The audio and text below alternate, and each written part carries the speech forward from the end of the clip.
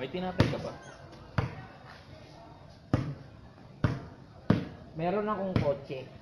Meron akong bahay. Meron akong alahas at ginto. At ako ang nagpapasahod sa kumpanya namin. Meron akong kahit ano. May tinapay ka ba? Wala. Tara. Hati tayo.